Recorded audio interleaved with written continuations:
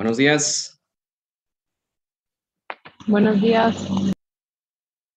Buenos días. Buenos días. Muy bien, me vamos llegando la mayoría.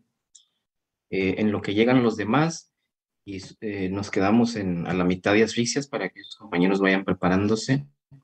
Avisos parroquiales este jueves, este creo que ya se los había comentado, ¿no?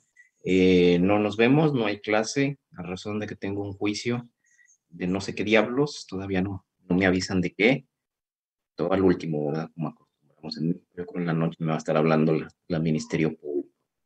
Eh, es otra historia. y luego el 23 de septiembre, que también es jueves, eh, tengo programado un examen profesional a las 10 de la mañana. Pues una hora no se va a llevar. Sí voy a tener que pedirles que ese día, el 23, a ver si podemos buscar otra hora por ahí que tengan disponible para eh, llevar a cabo la clase. Se pueden en la tardecita, pues mejor, o en el horario que ustedes les, por ahí les, eh, les acomoden, ¿no? que me según sus compromisos. Para eso es dentro de dos semanas para que eh, estén ahí al pendiente.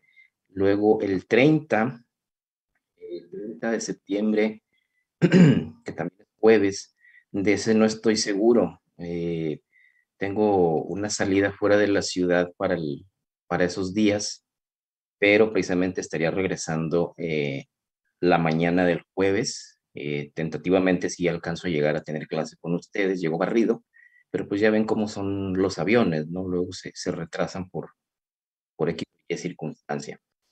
Entonces, de ese sí estoy un poquito en duda, eh, del 30. El 23 hay que cambiarlo, a otra hora, y el 9, que es eh, pasado mañana, de plano, pues no, no va a haber clase. Entonces, pues se pueden llevar ahí todo el día. Era pues idea de poner otra hora. Eh, bien. Para el día de hoy eh, estábamos viendo asfixias. Perdón, ya me ando ahogando yo también.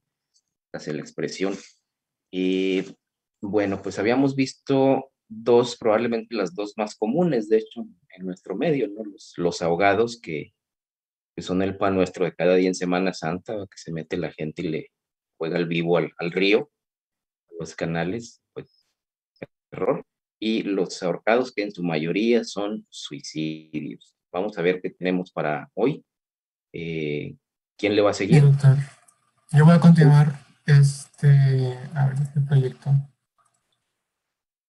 Eh,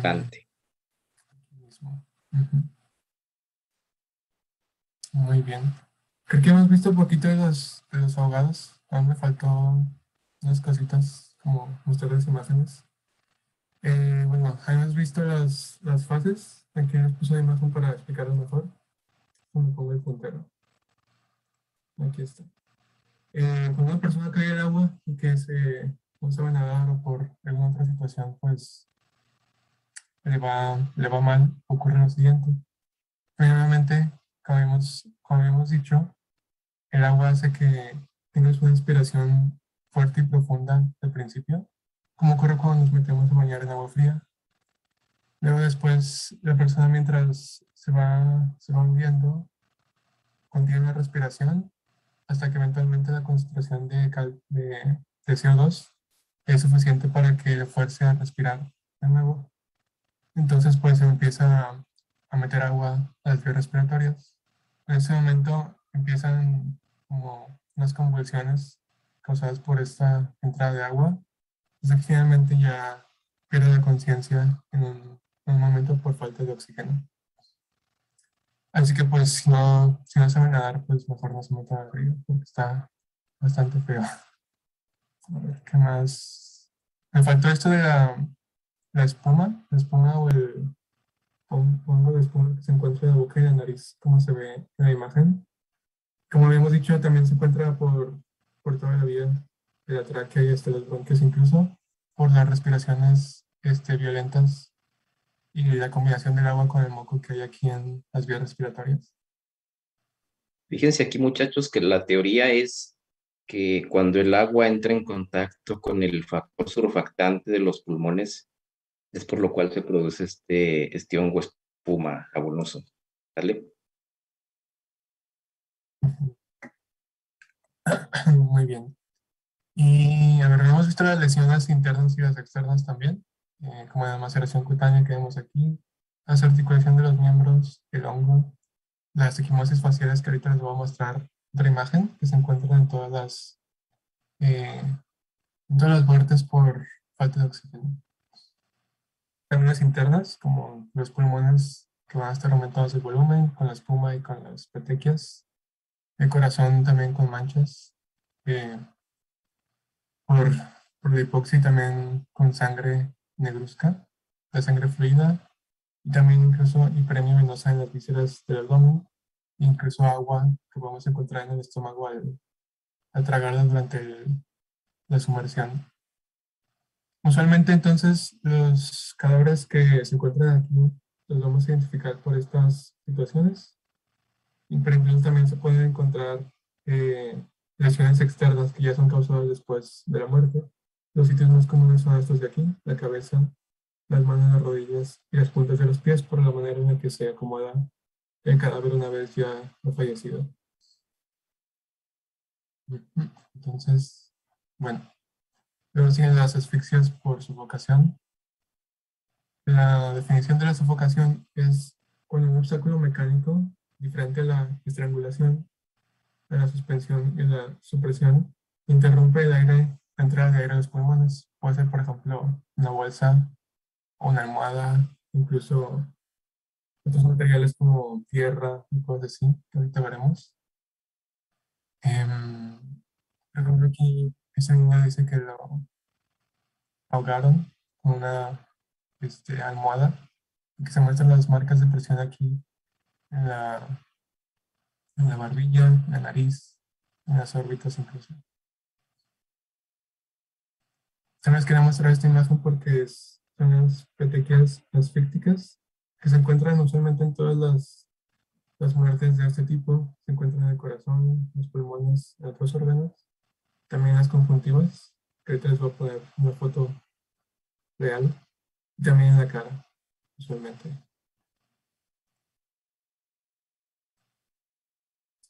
Muy bien. Entonces, la etiología de la sofocación, como vimos, pueden ser por varias cosas. Eh, se incluyen los orificios respiratorios por objetos como una almohada, también con las puras manos. Te ponen la boca, la mano en la boca y la nariz como tal, te sofocan así. También por oclusión directa de las vías respiratorias, como que, por ejemplo, si tragas un, em, una paleta o algo así que se te por la tráquea, eso es una oclusión directa. También la compresión, la compresión externa abdominal, como por ejemplo, mencionaba un caso de unos criminales ingleses que lo que hacían era que emborrachaban a, algunas personas para poder entonces sofocarlos con sus manos y con, el cuerpo. O sea, se les echaban encima literalmente, comprimiendo el, el tórax y también como la, la boca y la nariz para pues matarlos de esa manera. Entonces después vendían los cuerpos a las universidades de medicina porque les pedían cuerpos para estudiar anatomía. También otra manera es... Mm, si me permites, eh, sin ir más lejos, a todo aquel que no lo hayan sofocado haciéndole bolita no tuvo infancia. ¿sí? Ese es un ejemplo muy clásico de una compresión toracoabdominal, pues te saca el aire y no te deja mover los músculos respiratorios, sobre todo el diafragma, y adiós, ¿no? También ejemplo muy, muy cotidiano, bueno, relativamente, ¿verdad? El, mecánico al que se le suelta el gato y se le viene el vehículo encima, no, lo mata el traumatismo, no, lo mata el impacto, sino el hecho de que se está sofocando, no puede respirar por el peso, ¿vale? Seguimos. Muy triste, hay que poner varios gatos por si acaso. Entonces, otra manera es el confinamiento, como habíamos visto si eh, se encuentra una persona encerrada en un lugar que es hermético, que no puede circular el aire, eventualmente se acabará el oxígeno. Y sepultamiento, que es algo parecido a, a una presión de las vías respiratorias, por ejemplo, pues alguien que lo literalmente lo sepulten con tierra, ocurre este, esta manera de fallecer. Y bueno, pues aquí está el ejemplo de la almohada. También Eh, en caso de infantes puede que se, este, pues que fallezcan de esta manera al sofocarse con su propia almohada, con su propio cuerpo, si se duermen boca abajo, o incluso si duermen con un adulto, puede que él, al estar dormido, en especial si está borracho, mencionaba el libro, eh, lo sofoque por accidente. Pero es la primera este, manera de, sofocación, que es con la oclusión directa de los orificios, como el ejemplo de la almohada. Entonces vamos a encontrar hemorragias en los labios, también estigmas bucales. La coloración también de la sangre va a ser negruzca, como la mayoría de los casos de este tipo de muerte. Otra vez con espuma traqueobronquial y congestión visceral generalizada. Usualmente para esto, este, la manera de determinar la muerte, además de estos eh, signos o hallazgos que encontramos, es con encontrando el objeto como tal, o encontrando, dependiendo de, como se dice, la habitación, lo que haya pasado en la habitación, es como podemos determinar ese tipo de muerte. Pero la oclusión directa de las vías como tal, en este caso pues vamos a encontrar el cuerpo extraño adentro de las vías respiratorias. Podemos encontrar lesiones traumáticas en la boca, la faringe y la laringe. En caso de que, por ejemplo, sea un niño y alguien le haya metido forzosamente en un pedazo de tela o una pelota o algo así en la, en la boca, pues encontraremos traumatismos ahí. Y también pues encontramos unos tejidos comprimidos por el cuerpo extraño. Igual que el anterior, este, lo ideal para el forense es al hacer una autopsia y en caso de que mandes el cuerpo a otro lado, también se manda el objeto, porque si no es más complicado determinar la causa de muerte. Aquí están las este, petequias de la conjuntiva que les comentaba.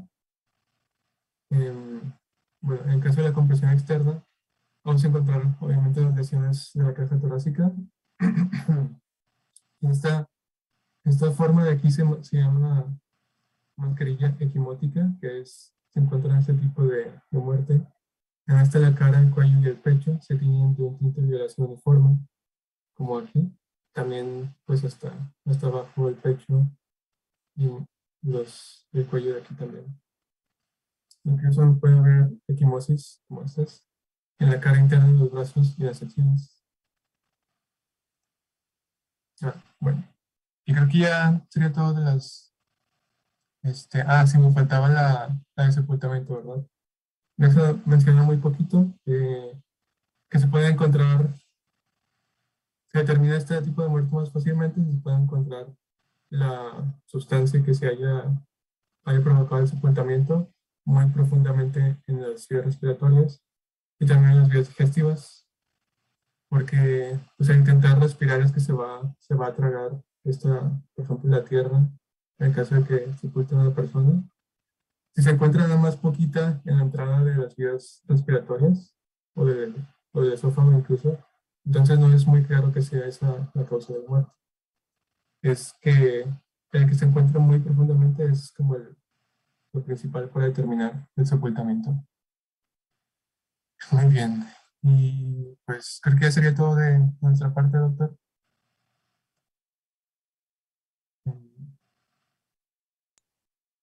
bueno, les faltaría el, estrangulamiento, no sé si lo, traigan. Por ahí nos proyectaste una imagen, es muy, muy ah. demostrativa. Sí, sí, sí. Esta imagen. Sí, bueno. Eh, faltaría agregar el estrangulamiento. El estrangulamiento ahora sí es algo activo, ¿no? Cuando veíamos lo del, lo del ahorcado, decíamos, como vemos ahí en la imagen, pues es el propio peso, es la propia gravedad la que hace la fuerza.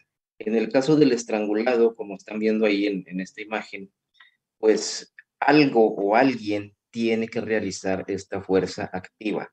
Así que por definición, eh, la mayoría de estos van a ser homicidios. Por eso el, chiste de, de ahorcar rocas está mal, porque en realidad es estrangular, ¿verdad? Como vemos ahí.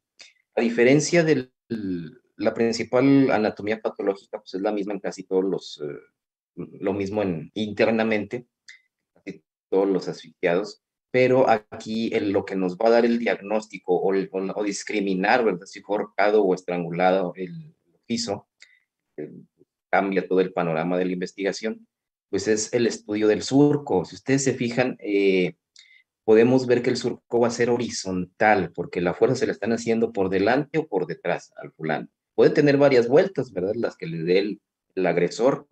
Y pues obviamente nadie nunca se va a dejar estrangular. Para que eso pase, ¿qué se necesita, muchachos? Para que poder estrangular a una persona. Así que hay, que pensar como criminales, ¿no? En, estos, eh, en estos bienes en los que yo ando. ¿Cómo vamos a poder estrangular a alguien con ventaja? ¿Qué clase de ventaja? que Fuerza. por ejemplo. Fuerza física es una, sí. Eh, ¿Qué más? Eh, posición. Posición, bueno, ya depende. Pero esa persona se va a defender, ¿no? La víctima. ¿Cierto? Nadie se va a dejar solito que lo estrangule nada más porque sí. Entonces se necesita en ventaja a veces numérica. Vamos a ser varios, ¿no? Para que entre varios lo podamos someter y otro lo esté estrangulando.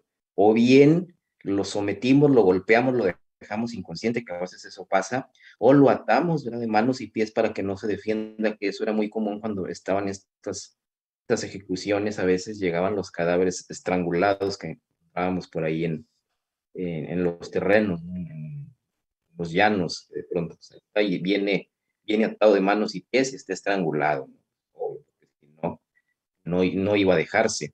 Y huellas de defensa, ¿no? vamos a ver que la persona tiene golpes en los brazos, en las piernas, en la cabeza, o tortura, ¿no? También a veces, es lo que nos, nos orienta a nosotros a decir, bueno, este no, no está ahorcado, ¿verdad? Está estrangulado.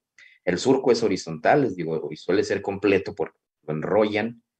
Eh, no hay tiempo de hacer nudo por lo regular, a menos que ya esté inconsciente o atado de manos, pero no hay mucho tiempo de, hacerle nudo suponiendo que esté vivo, por eso le dan hasta varias vueltas. Y pues eso es, Entonces, eso cambia el panorama para los, eh, en criminología es importante porque, tomado lugar de los hechos, que eso nos cambia de pensar en un suicidio a pensar en un homicidio, ¿verdad? Y ya nos, nos voltea totalmente la investigación. Como del puro examen médico, a veces se determina si hay o no hay crimen. Fíjense nada más la importancia de...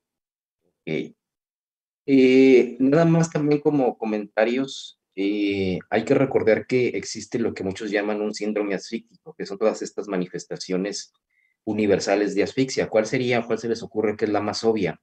De las manifestaciones que todo asfixiado o persona que le falta el oxígeno debe de tener. El rostro cianótico.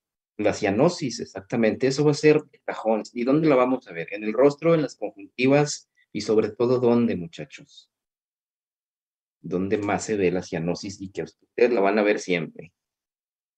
Hasta ya usamos el apartejo para andar midiendo la saturación de oxígeno ahí, en esa parte corporal en, las partes distales, en las uñas, en las manos. Ahí va a ser un buen lugar para revisar cianosis siempre. Eh, y manifestaciones internas, pues esta sangre oscura pues, se debe precisamente a la hemoglobina desaturada. Acuérdense que pues cambia por CO2, el CO2 es mucho más afín a, que el oxígeno a la hemoglobina, 20 veces, creo algo así, ¿no? Lo que ahí dicen los textos.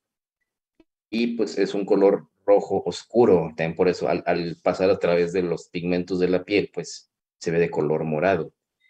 Como esa persona está agonizando, si se acuerdan por ahí, vieron que existe una, fase de excitación, una fase de descarga de catecolaminas, por eso a veces los, los ahorcados nos llegan todos chorreados, y en el argot decimos la última venida, eyaculación postmortem.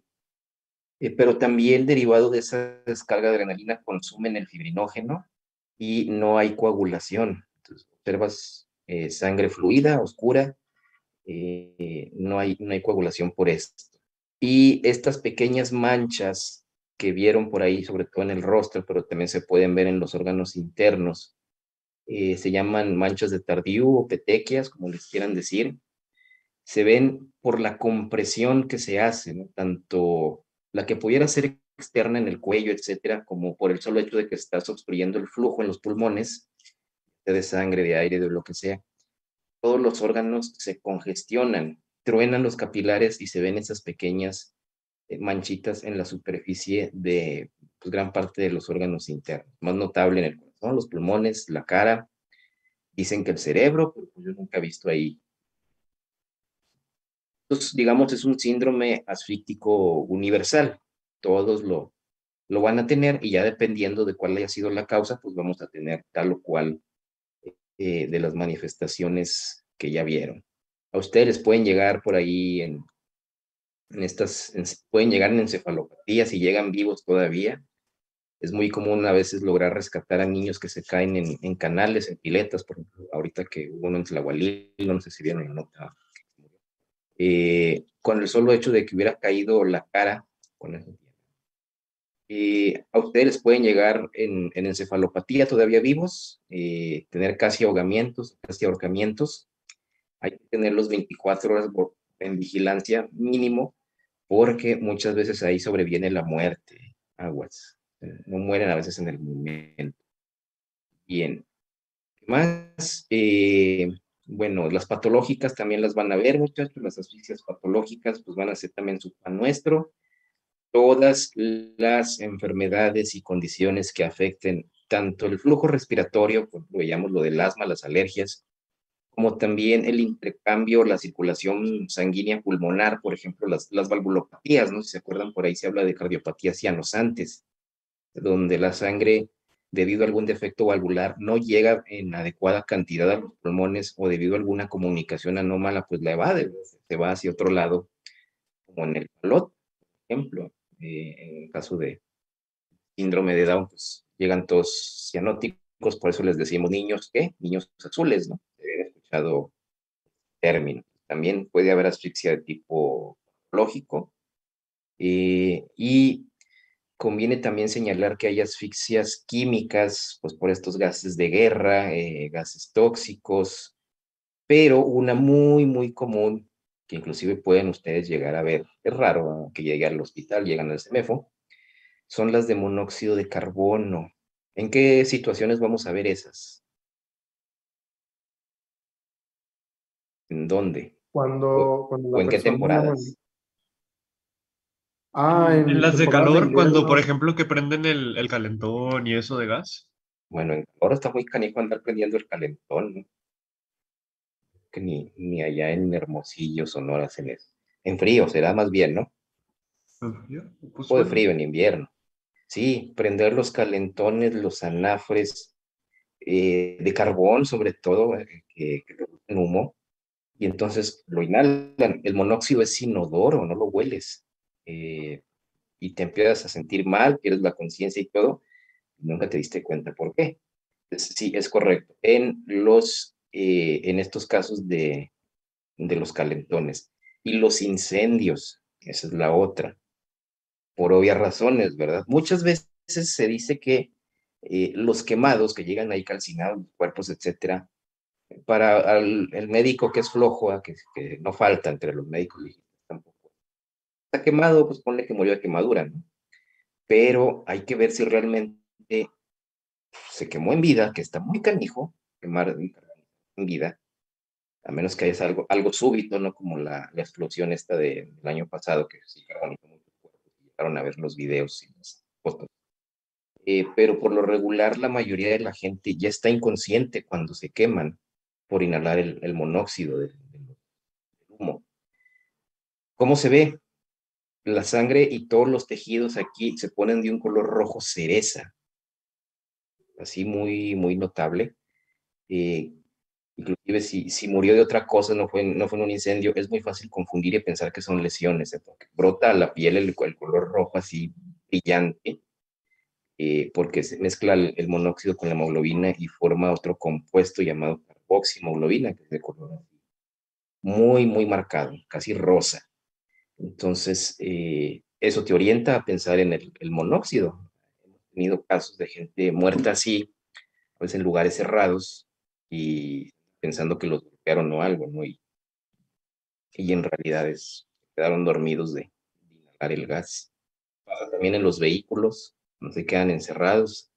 La clásica madre primeriza que va al, atender un asunto, deja al niño encerrado en el carro y a lo mejor lo deja encendido porque piensa que va a salir rápido, sin ventilación, sin una ventana abierta y se le muere ahí el niño. ¿eh? Eso es también, aquí no es común, pero en algunos, sobre todo en Europa y Estados Unidos, es muy frecuente en la cultura y estilo de vida de ahí. ¿Ok? ¿Qué más? También. Mm, ah, no olviden la, la asfixia erótica o asfixia erótica, ¿han oído de ella? Ha habido famosos, ¿no? Que han que- muerto por esto.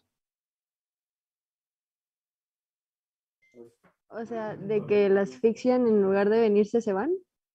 Bueno, ese es un chiste, ¿verdad? Pero bueno, eh, si ahorita se acuerdan, les dije, bueno, hay una descarga de catecolaminas, ¿no? Eh, adrenalina, etcétera, bla, bla, bla. Y esto puede lograr una excitación a nivel simpático, allá en los, el plexo eh, sacro, lumbar, todo ese rollo. Y en el caso del hombre, pues generar una eyaculación, pues les digo, los arrojados es muy común que nos lleguen ahí todos eh, chorreados. Y en el caso de la mujer, pues haber contracciones uterinas, orgasmo. Entonces, eh, es una técnica muy socorrida en, en algunos lugares. eh, igual, ¿verdad? Depende de la cultura. Lo, se ve más en Europa, en Estados Unidos, que son sociedades abiertas. Aquí en México no somos tan escatológicos, nada más arriba, abajo y perrito. Pero en, en estos países sí, sí llega a verse muy, muy frecuente y algunos ya lo consideran un problema de salud pública. ¿Por qué? Entre esa etapa de excitación, eh, de adrenalina y todo el rollo, y la muerte, pues es una línea muy, muy delgada. ¿sí? Es muy fácil pasarse. Entonces, hay homicidios eh, culposos, hay muertes accidentales por, por estas prácticas. Llega, llega a ocurrir mucho en Estados Unidos. Aquí creo que hubo uno alguna vez, casi eh, hace como dos, tres años, hubo un caso y a mí no me tocó, yo nada más andaba de metiche viendo las fotos del lugar del hecho y pues hay cosas muy, ¿no? Pero sí, por lo menos un caso ya tuvimos aquí en la región de, de pues, aguas también. Si les gusta practicar esas cosas, no olviden que hay palabra de seguridad, etcétera, bla, bla, bla. Y no, pues obviamente no tratar de forzar desde el cuerpo. ¿Ok? ¿Una duda, pregunta que tengan del tema? Sí, doctor, yo tenía una pregunta, este, porque lo estaba leyendo. Y estas imágenes precisamente son de un, una novela de misterio. Este, iba a preguntar, entonces para distinguir, ya ve que hay casos en los que los criminales cuelgan a sus víctimas después de estrangularlos. En esos casos se ve el doble, doble surco, o cómo hacen para distinguirlos. Bueno, fíjate, aquí es importante, en, en toda autopsia ya lo veremos también más de la distinguir si la lesión es pre o post-mortem, ¿sí? Eh, y también depende de, de, cómo hayas hallado el cuerpo. Por ejemplo, aquí los colgaban en los puentes, no con la intención de matarlos, sino de exhibirlos, ¿no? No los mataron colgándolos, más si traen ahí el disparo en la cabeza.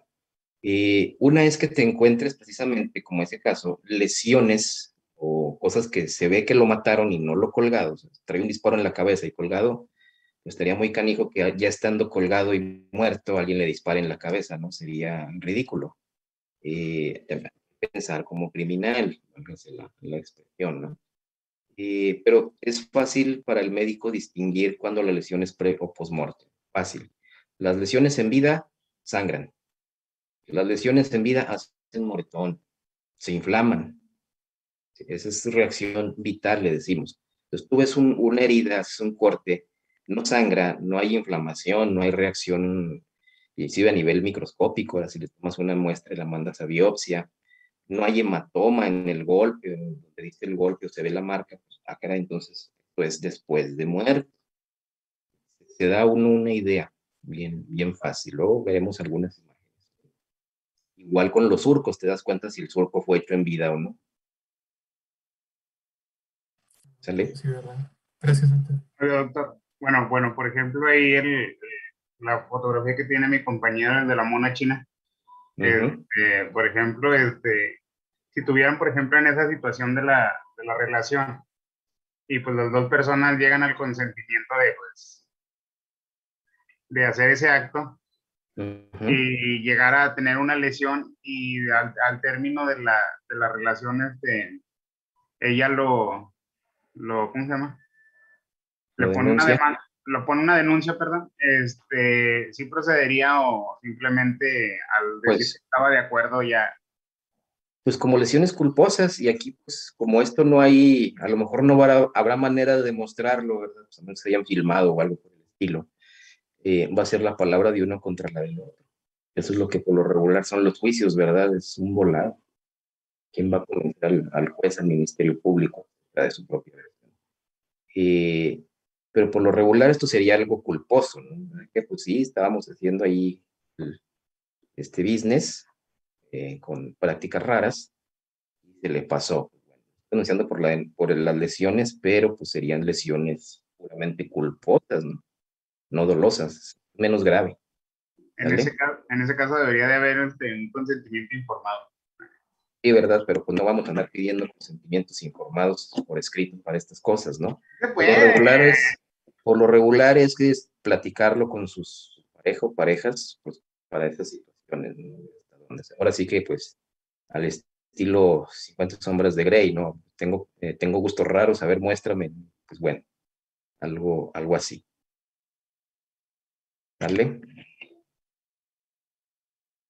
Por eso la, la famosa palabra de seguridad que muchos dicen que se usan en estas prácticas. Con puro alambre, versión Gómez.